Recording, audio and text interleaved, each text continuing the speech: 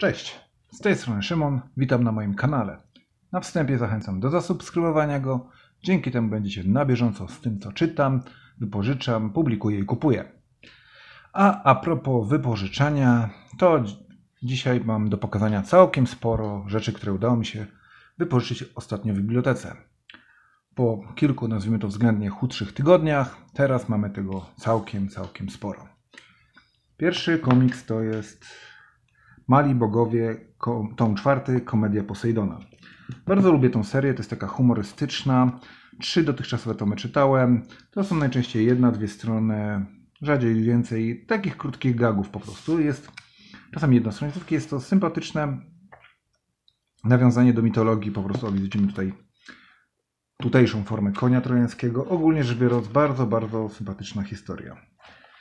To jest, o widzę, że jest zapowiedź tomu tego. To jest komiks z biblioteki z sekcji dla dzieci. Drugi komiks też z sekcji dla dzieci, bo od tej biblioteki dzisiaj zacznę. To jest Frank, czy Frank, tom drugi, Chrzest Ognia. I jest tutaj już zapowiedziany tom trzeci.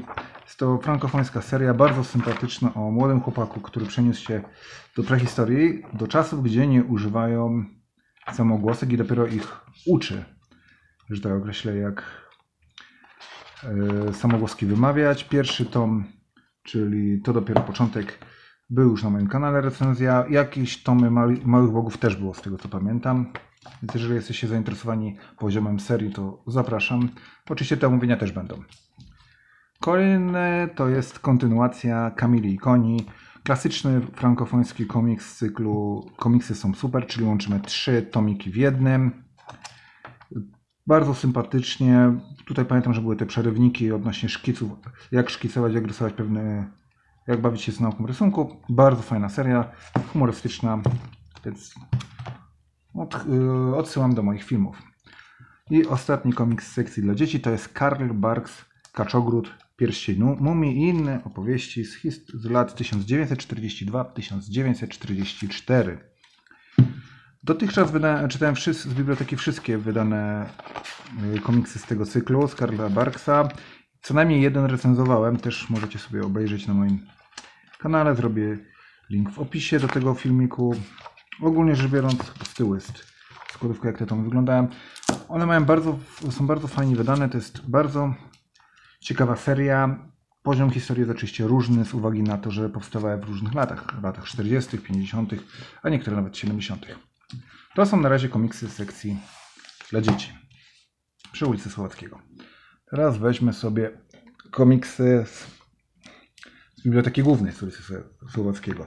Trolle Stroj, tom szósty. Kolejny. Czytałem dotychczas wszystkie wydane. Chyba jeszcze żadnej recenzji nie było. Z tego, co do tej pory były wydawane i, i czytałem, to były na zasadzie takiej, że my łączymy po kilka tradeów francuskich w jednym.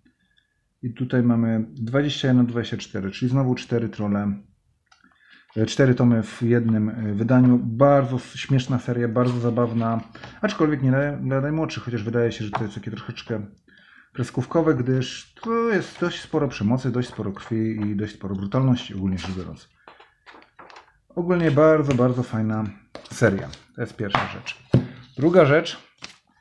Joe Schuster, opowieści o narodzinach Supermana. To jest komiks, który zastanawiałem się, czy nie kupić i bardzo się cieszę, że pojawił się w bibliotece. Ojej, widzę, że jest sporo materiałów dodatkowych. Bardzo ciekawie stylizowana kreska. I chyba będę to czytał jako jedno z pierwszych rzeczy. O, ikoniczna okładka Action Comics 1. Więc to jest druga rzecz biblioteki głównej. Trzecia. X-Men, punkty zwrotne, Wojna Mesjasza. Jest to kontynuacja kompleksu Mesjasza, który recenzowałem na moim kanale. Też odsyłam do tego materiału. To jest ta seria właśnie punktów zwrotnych. Wkrótce będzie powtórne przyjście Mesjasza. Czy me, punkty zwrotne, powtórne przyjście? Jest to komiks Marvel Classic, Milestones.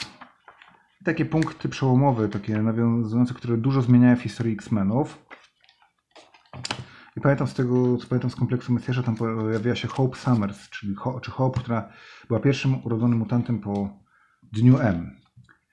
Y, Poprzedni tom oczywiście też jest w bibliotece głównej, czyli wszystkie trolle są w bibliotece głównej, kompleks Mesjasza też jest w bibliotece głównej.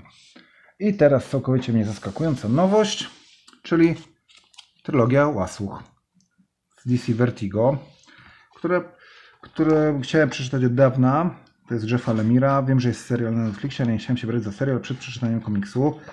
Bardzo mnie cieszy, że się pojawiło to w bibliotece. Z wielką chęcią będę czytał. Jest też w bibliotece ten powrót, Łasuch powrót, tylko że ja go nie wypożyczyłem, bo już mi się skończyło miejsce na książki i komiksy w bibliotece głównej.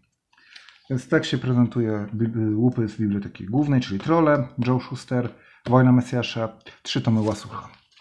I jeszcze jedna biblioteka, którą odwiedziłem w ostatnim tygodniu, czyli mamy tutaj bibliotekę na osiedlu, filii na osiedlu Kopernika. Pierwszym komiksem to jest trzeci tom Anihilacji. Czytałem oba poprzednie, recenzowałem, linki będą w opisie. Fajnie, bo jest co wydarzyło się w poprzednich. To jest wielki taki kosmiczny event. Ciekawe, czy tu jest. Jak to jest w ogóle, na czym to bazuje? Czy. Ka- Anihila... A, czyli tam to były jakby wstępy, a tu mamy już konkretną anihilację. Czyli będzie, może być bardzo fajne zakończenie całej tej sagi. Ciekawe, czy w bibliotece będzie podbój, czyli- czym dalszym. O, widzę tu mamy postacie. To jest bardzo, bardzo fajne rozwiązanie. Bardzo się dobrze czyta, więc jestem ciekawy finału. Kolejnym komiksem to jest drugi tom Ultimate, Ultimate Spidermana ze scenariuszami Briana Michaela Bendisa i rysunkami Marka Bagleya. O, fajnie, bo też jest odpowiedź na w poprzednim, co było w poprzednim tomie.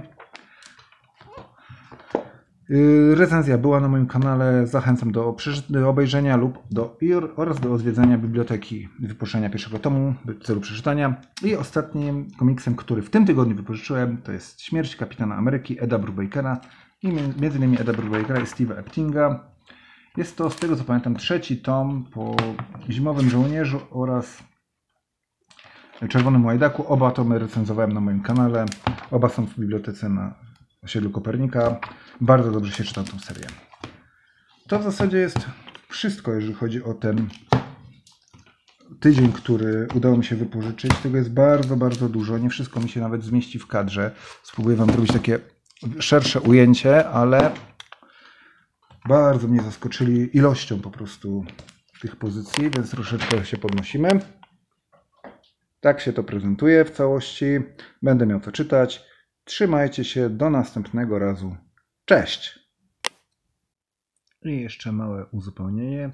Przygotowując się do prezentacji komiksów wypożyczonych z biblioteki, zdejmując ze spółki, zapomniałem o tym jednym tytule Światła, Światła Północy, tom trzeci Siostry Wrony.